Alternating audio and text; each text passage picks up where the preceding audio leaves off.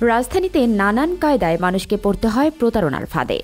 হয়তো আপনিও পড়েছেন এমন ফাঁদে, কিংবা পেয়েছেন এমন কোনো ফোন কল। বিদেশের ব্যাংকে পড়ে আছে মৃত প্রবাসীর কোটি কোটি টাকা।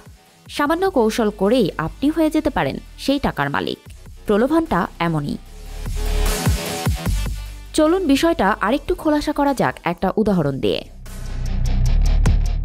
গভীর রাত, ফেসবুকে নোটিফিকেশন আসে মনসুরার। সেখানে লিসা মার্টিনেজ নামে একটি ফেসবুক আইডি থেকে তাকে ফ্রেন্ড রিকোয়েস্ট পাঠানো হয়।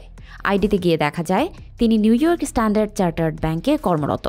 নিউ ইয়র্কের নিউ সিটিতে বসবাস করেন। মেসেঞ্জারে যোগাযোগের মাধ্যমে এক পর্যায়ে চাওয়া হয় হোয়াটসঅ্যাপ নম্বর।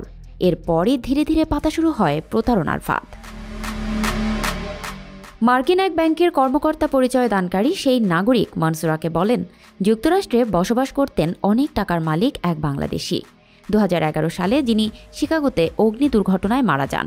তার ডলার ভর্তি সেই বাক্স কুরিয়ার কোম্পানির কাছ থেকে আনতে মনসুরাকে গুনতে হবে এক লাখ পঁয়তাল্লিশ হাজার টাকা। বিদেশি এই চক্রের ফাঁদ বুঝতে পারেন মনসুরা। তিনি সিআইডি সাইবার পুলিশ সেন্টারের পেজে অভিযোগ জানান। সংশ্লিষ্টরা বলছেন এটি বিদেশিদের একটি অনলাইন প্রতারণার ফাঁদ।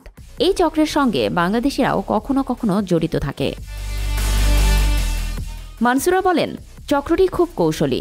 লিসা মার্টিনেজের পাঠানো বার্তায় যা ছিল, আমি নিউ ইয়র্ক মার্কিন যুক্তরাষ্ট্রের লিসা মার্টিনেজ।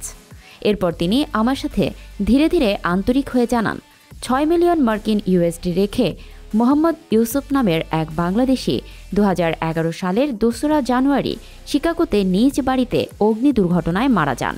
তার স্ত্রীও সেই অগ্নিকাণ্ডে মারা যান। তার কোনো আত্মীয় নেই। কিছু আইনি প্রক্রিয়ার মাধ্যমে মৃত ব্যক্তির অঢেল সম্পদের মালিক হতে পারবেন মনসুরা। মনসুরা বলেন, বিষয়টি সম্পূর্ণ গোপন রাখার জন্য আমাকে বারবার বলা হয়।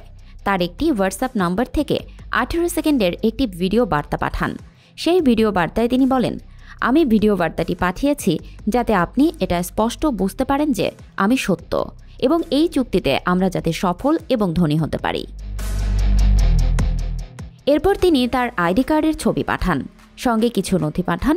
সেগুলো মৃত ইউসুফের আমানত প্রশংসাপত্র ডেথ সার্টিফিকেট এরপর আরও বেশ কিছু প্রক্রিয়া শেষে মনসুরাকে দুইটি টাকা ভর্তি লাগেজের ছাব্বিশ সেকেন্ডের একটি ভিডিও পাঠানো হয়। পরে শিপিং কোম্পানি লাগেজ নেওয়ার জন্য এক লাখ পঁয়তাল্লিশ হাজার টাকা ডেলিভারি ফি পাঠাতে বলেন। সেই সঙ্গে দুটি ব্যাংক অ্যাকাউন্ট নম্বরও পাঠান। পুলিশের অপরাধ তদন্ত বিভাগের সাইবার পুলিশ সেন্টারের বিশেষ পুলিশ সুপার মোহাম্মদ তৌহিদুল ইসলাম নিশ্চিত করেন, এটি একটি অনলাইন প্রতারণার ফাঁদ।